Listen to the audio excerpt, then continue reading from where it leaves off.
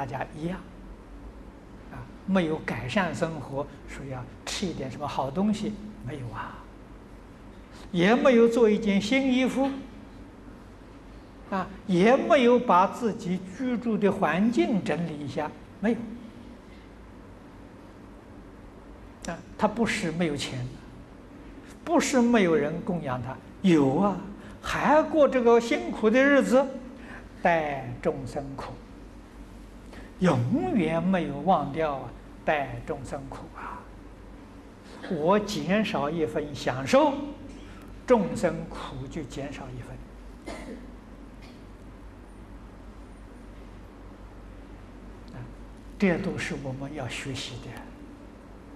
我们常存这样的心，常常存这样的事，我们生生世世都不会有苦难。果报如是啊！你能带众生受苦，你怎么会有苦处呢？啊！现在这个社会，苦难的人多，病苦的人更可怜！尤其是生病的这个穷苦之人啊，生病相当可怜。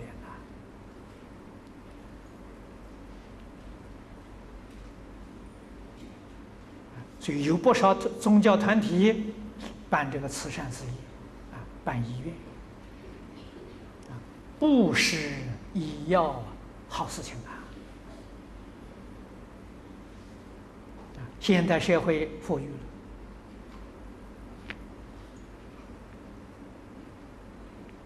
了，啊，对于疾病的预防，每个人都注意到了。所以，国家对于人民有这个医疗的照顾啊，啊，我们每个人自己啊也会有一些啊这个财物放在那里啊，预备生病的时候用啊。啊，有病有苦难的时候用啊！真正聪明人，把这些钱都布施掉。啊，我的医药费，啊，准备的医药费，布施给那些病人。啊，如果有什么急难要预备的那些财物，都拿去救难。啊，那人也许你要问呢，到自己生病的时候怎么办呢？给诸位说，你决定不会生病，啊？为什么呢？你的医药费不是掉了，你那个医药费放在那个地方啊，是决定会生病。那不生病，那个钱怎么用法呢？非生病不可啊！哎，要准备将来有什么灾难的时候，我要准备的是呃那些钱，你有一定遭难。那佛法讲的好啊。一切法从心想生呐！你这个没有病，在这里想着要害病啊；没有难，要准备将来灾难啊。所以你的灾难跟疾病呢，决定不能避免呐。你要通通布施光了，心地坦然，你也不会遭难，是你也不会生病啊！你看这个多自在。啊，为什么不把它舍掉呢？今天跟你都是讲的，种什么样的因，你会得什么样的果报啊，一点都不会错啊，没有差错的呀。啊，所以我们要懂得啊，带众生受苦，我们有力量，尽力量去做。啊，特别是。今天举世众生，你要晓得最大的苦难是什么？闻不到佛法了。所有一切苦难当中，没有比这个更大了。他闻佛法之后，他觉悟了；不闻佛法，永远迷惑颠倒。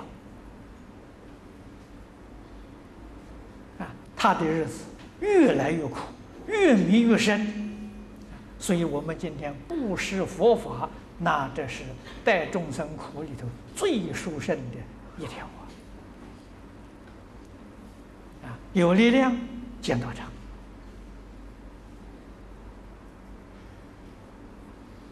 啊，请法师讲经说法，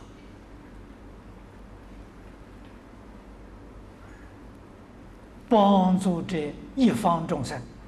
破迷开悟，离苦得乐，你说这个多重要的啊！要做一个什么样的道场呢？要做一个模范的道场，推行佛陀教育的道场。这个道场不做经忏，不做佛事，不做法会，我们净宗的道场纯净宗。晚上讲经，白天念佛。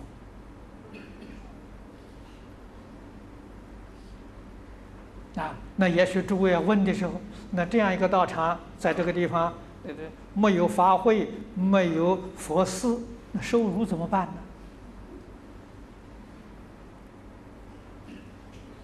如果你真的要这样做，你要会饿死了，我们就不要信佛了。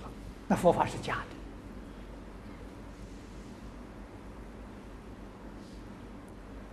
你真正如法修行，不要去攀援一个人，不要去巴结一个人，不向信徒要一分钱。你要是饿死了，佛法里头第一个护法神是韦陀菩萨了，韦陀菩萨应当撤职查办。那真的不是假的，所以这个道场一定诸佛护念。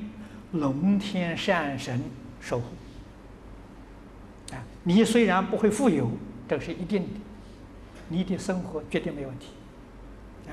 你的粮食断了，委托菩萨会去找一些人送粮食给你啊，不会让你缺乏啊，不会让你饿着，也不会让你冻着，你只一心念佛就好，一心办道就好。名闻利养，通通放下，心地清净平等觉啊！这个叫正法道场啊！诸位要能建立这样的一个道场，这是模范道场啊！啊，无论道场大小，在这里面共修四种同修。都能够遵守六合敬，你这个道场是世间第一道场啊，那个功德就无比的殊胜啊！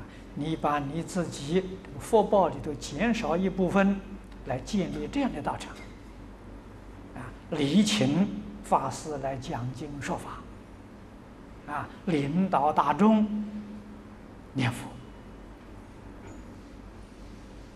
皆心相印啊，真正带众生苦啊，所以自己有福，不要在一生呢把自己的福报享尽，享尽了，来生就没有福报了。如果你懂得这样修福，好，你来生的福报就不可思议。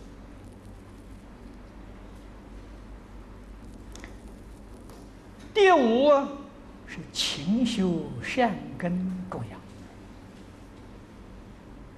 这条重要。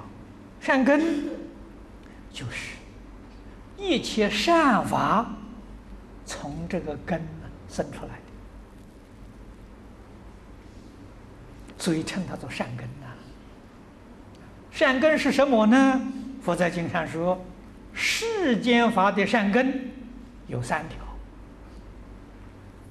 无贪、无嗔、无痴，这是我们要认真去修的啊。